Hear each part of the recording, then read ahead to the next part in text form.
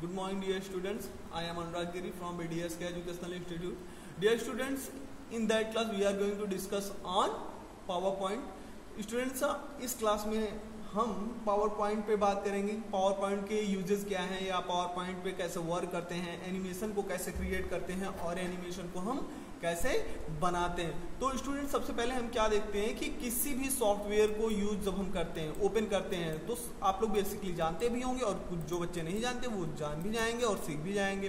तो सबसे पहले हम क्या करते हैं, अपने सिस्टम को एक बार से दो से तीन बार रिफ्रेश करेंगे, उसके बाद हमको ढूंढना पड़ेगा पावर पॉइंट अगर मान लीजिए यहाँ पे हमको पावर पॉइंट नहीं मिलता है, तब हम कहाँ पे जाएँगे? हम सीधा स्टार्ट मेनू पे जाएँगे स्टार्ट बटन पे जाएँगे स्टार्ट बटन पे जाने के बाद हम क्या करेंगे? आप देखेंगे स्टार्ट बटन पे जाने के बाद हम क्या करेंगे? ऑल प्रोग्राम्स में जाएँगे। ऑल प्रोग्राम्स में हम जैसे जाते हैं तो यहाँ पे हमको दिख रहा है एमएस वर्ड तो क्योंकि ये किससे रिलेट करता है? एमएस से रिलेट करता है तो हमको एमएस जो एमएस का सॉफ्टवेयर है, उसमें ये हमको आसानी से मिल जाएगा। तो हमने पहले से इसको ड्रैग करके अपने डेस्कटॉप पे रखा है आइकॉन्स पे रखा इस एरिया को हम क्या बोलते हैं? आइकॉन्स बोलते हैं। तो हम इसको डुअल क्लिक करके ओपन करते हैं और जब हम ओपन करते हैं तो यहाँ से पहले से कुछ स्लाइड्स बनी हुई हैं तो इसको हम यहाँ से डिलीट कर देते हैं, क्योंकि हमको कहाँ से सीखना है? शुरू से सीखना है। तो हम क्या करते हैं स्टूडेंट्स एक न्यू स्लाइड लेते हैं। क्या लेते हैं? न्यू स्लाइड लेते हैं और न्यू स्लाइड हमको कहाँ से मिलेगी? न्यू स्लाइड हमको यहाँ से मिलेगी। आप लोग देख भी रहे होंगे तो हम क्या करते हैं? सबसे पहले न्यू स्लाइड ये ले लेते हैं। अब आपने देखा कि न्यू स्लाइड आते ही यहाँ पे क्या दिया गया है? क्लिक टू एड टाइटल सबसे पहले किसी भी प्रेजेंटेशन को जब हम बनाते हैं, जब हम क्रिएट करने के लिए चलते हैं जैसे आप मान लीजिए किसी के बारे में कुछ बनाने जा रहे हैं तो आप क्या करेंगे? सीधा डिटेल्स हम थोड़ी इंटर कर देते हैं। हम डिटेल्स तो लिखना शुरू नहीं करते। हम क्या करते हैं? पहले हम अपने मैटर को देखते हैं कि हमारा मैटर किस पे है। उसके बाद जो मैटर होता है, उसका हम नेम डालते हैं। तो सबसे पहले हम यहाँ एक चीज़ और देख लेते हैं। ये जो एरिया है इस एरिया को स्टूडेंट्स हम क्या बोलते हैं? रिबन बोलते हैं। और रिबन में जब हम आते हैं तो रिबन में हमको क्या, हम किस पे वर्क कर रहे हैं? इस समय हम टैब पे वर्क कर रहे हैं। किस टैब पे वर्क कर रहे हैं? होम टैब पे वर्क कर रहे हैं। तो क्या ये क्या है? होम टैब के ये रिबन ऑप्शंस हैं। किस, क्या है? होम टैब के रिबन ऑप्शंस हैं। तो हम सबसे पहले क्या देखते हैं? यहाँ पे क्लिक टू ऐड दिया गया। तो हम यहाँ पे क्या लिखते हैं? मान लीजिए बीडीएस के एजुकेशनल इंस्टीट्यूट हम लिखते हैं, क्योंकि हमको थोड़ा बहुत मैटर इसी पे बनाना है तो आप देख रहे होंगे। तो हमने क्या टाइप कर दिया? बीडीएस के टाइप कर दिया है।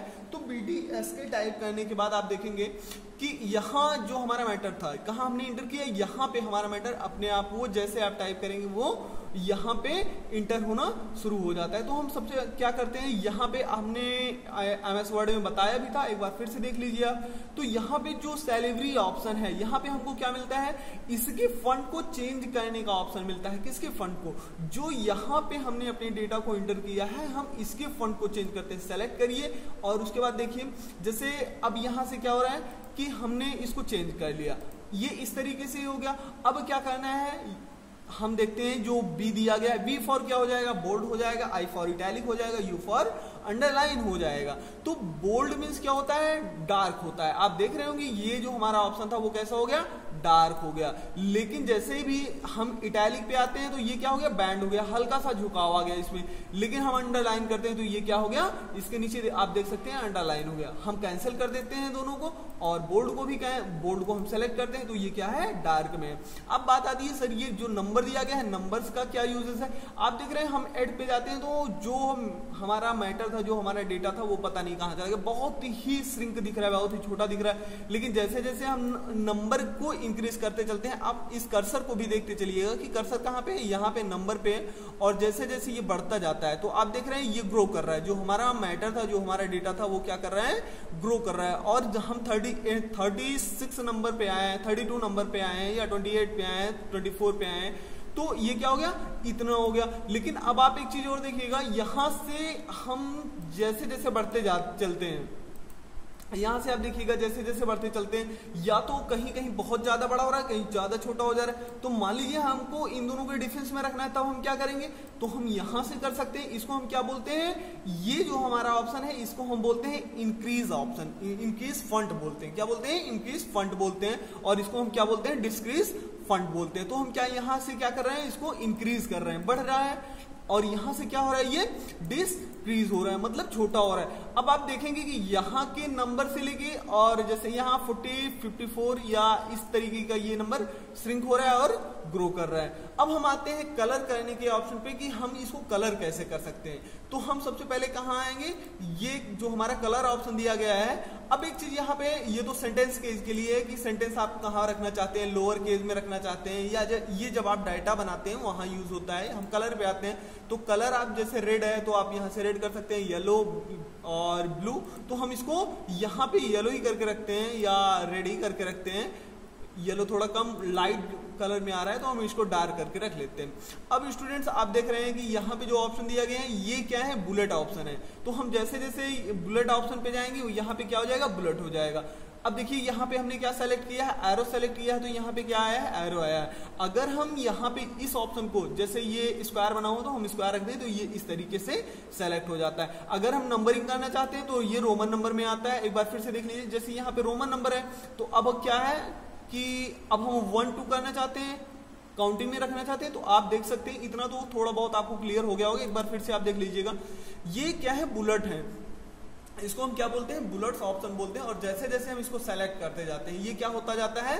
बुलेट्स इस पर हाईलाइट होती चली जाती है। तो देखिए, जैसे मैं इस बुलेट को सेलेक्ट करता हूँ तो यहाँ पे ये बुलेट हमारी सेलेक्ट हो गई है। और एक चीज़ आप यहाँ पे देखिएगा, जैसे इसको जो हम रोटेट कर सकते हैं, क्या कर सकते हैं? थोड़ा सा रोटेट कर सकते हैं। ये देखिए तो अगर हम इसको इतने में छोड़ देते हैं तो ये हल्का सा बैंड हो जाता है थर्टी डिग्री या नाइनटी अब हम इसको, ये हमारा कितना हो जाएगा? नाइनटी डिग्री हो गया। अब हम इसको कितने पे कर दें? 45 के आसपास कर दे तो ये हमारा 45 डिग्री पे रिफ्लेक्ट हो जाता है।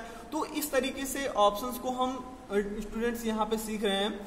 अब आप देखेंगे कि हम इन सारे ऑप्शंस में कहीं सैप्स ले सकते हैं। जैसे ये सैप्स दिया गया है तो हम सैप्स को क्या कर सकते हैं? यहाँ पे एक डिज़ाइन कर सकते हैं। आप देख रहे हैं, इसको हम बड़ा भी कर सकते हैं। तो क्या होगा? इसमें भी हम कलर फिल कर सकते हैं।